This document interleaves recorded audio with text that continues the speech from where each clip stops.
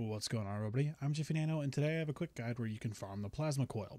The Plasma Coil is a legendary Maliwan SMG that only drops in shock and radiation from the Arms Race game mode in the Designer's Cut DLC. This weapon fires in very long bursts of splash damage orbs that deal above average damage, and is an extremely solid SMG that can be used on any character, but really shines on Amara and Moze due to their splash damage bonuses. The plasma coil can only be acquired from the arms race game mode and must be extracted before you can use it. It can drop from random enemies, the heavyweight Harker, but has a dedicated loot source being these chests right over here.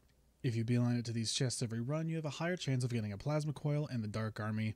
Usually I remember how to get to these chests by looking for this triangular section of the map. Unfortunately, this is not necessarily a quick or an easy farm. Arms race can be somewhat challenging and kind of annoying, but you don't have to kill the boss to collect your plasma coil, although if you do kill him, it does give you an extra chance of getting one to drop. If you do manage to get one to drop, you'll have to extract it from one of these icons on the map before you can use it. If you extract it after the boss fight or in the middle of the match, it will show up in your bank back in Sanctuary, but if you die with it still in your inventory, it is gone forever. This can make farming for these pretty tedious and punishing, not to mention I've gone several runs in a row getting nothing of value from these chests, so I hope you have better luck than I do.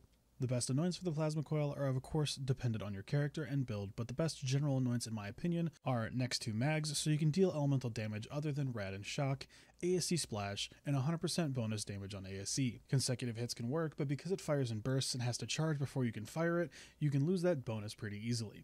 So let me know what you guys think of the Plasma Coil in the comments. I definitely think it's one of the best SMGs in the game currently, and it does some serious work on and Amara because they have splash-based builds.